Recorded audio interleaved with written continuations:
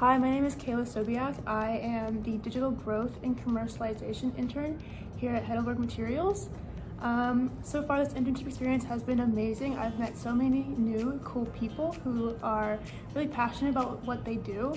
Um, part of my role is ensuring the success of our digital products, so listening to our customers, holding those one-on-one -on -one meetings as well as those monthly and bi-weekly meetings with the business.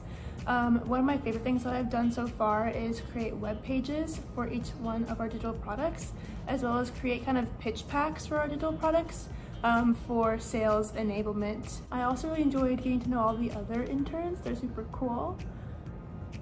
And love cement.